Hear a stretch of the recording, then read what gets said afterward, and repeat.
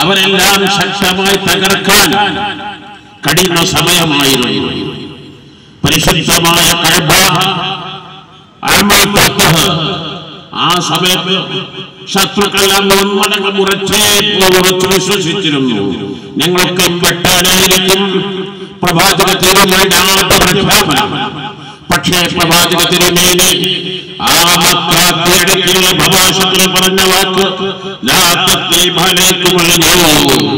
ഞാൻ ഒരാളും പ്രതികാരം വീട്ടാൻ വേണ്ടി വന്നതല്ല.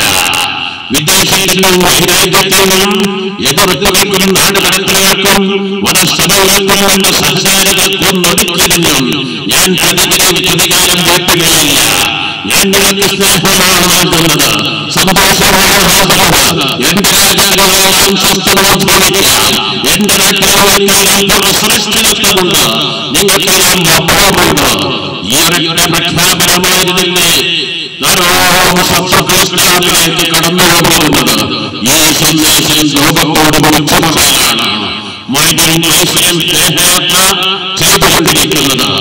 പ്രവാചകത്തിന് ഇസ്ലാമിക സാമ്രാജ്യത്തിന്റെ അധികനായ സമയത്തും പ്രവാചകത്തിന് ാകുന്ന ഈ ലോകത്തോട് വിട പറയുന്ന സമയത്ത് പ്രവാചകത്തിന് ഏറ്റവും പ്രധാനപ്പെട്ട പ്രതിരോധത്തിന് ഉപയോഗിക്കുന്ന ആ പടക്കട്ട ആ ചോദ്യങ്ങളിൽ പകരം വെച്ച് പടയം വെച്ചെങ്കിൽ പ്രവാചകത്തിന് മേലിലേക്കുള്ള വസ്തുതോട് കാണിച്ചിരുന്ന കൂറ് ജോലിയുടെ ഡെഡ്ബോർഡ്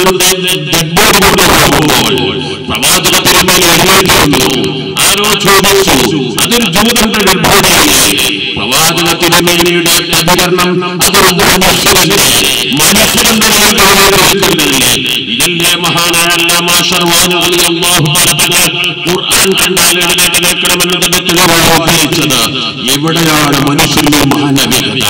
മനുഷ്യൻ സ്നേഹിതേത് വിഭാഗമാണെങ്കിലും നമ്മുടെ രാജ്യത്ത് എല്ലാവരും ഒത്തൊരുമയോടെ കഴിയണം.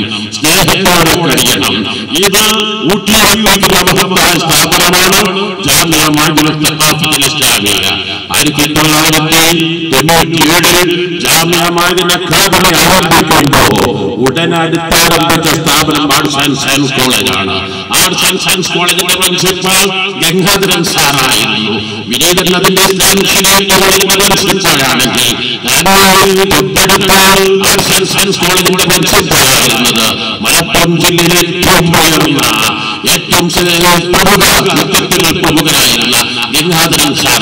ഞങ്ങൾക്ക് ഒന്നിച്ചിരിക്കാമായിരുന്നു ഞങ്ങൾക്ക് ഒന്നിച്ച് ഭക്ഷണം കഴിക്കാമായിരുന്നു ഇന്നും അതിന് അക്കാദമിയുടെ director academy director K K M Kurup സാറാണ്. പലപ്പോഴും യാത്ര പിന്തുടരാറുണ്ട് നമുക്ക് മഴവിൽ പഠിക്കുന്ന സ്ഥാപനത്തിൽ ജോലി ചെയ്യുന്നവരിൽ വിശേഷ ആർട്സ് ആൻഡ്